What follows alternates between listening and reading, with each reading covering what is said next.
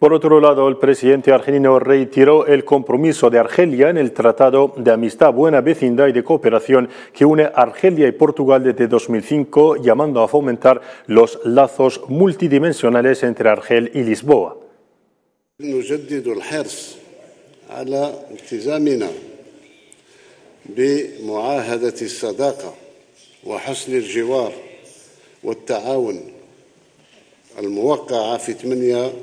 نجدد الحرص على التزامنا بمعاهدة الصداقة وحسن الجوار والتعاون الموقعة في 8 جانفي 2005 كانت محادثات مع فخامة الرئيس مارسيلو مثمرة وصريحة وصادقة.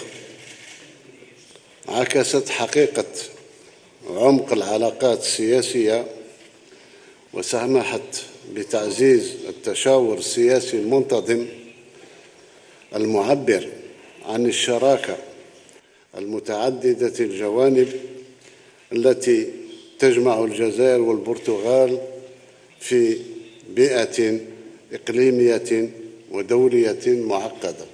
نتمنى أن العلاقات تقفز إلى ما أحسن نوعيا وأكثر كثافة في كل ميادين ميدان ثقافي ميدان تعليم ميدان طاقة ميدان صناعة ميدان حتى الرياضة.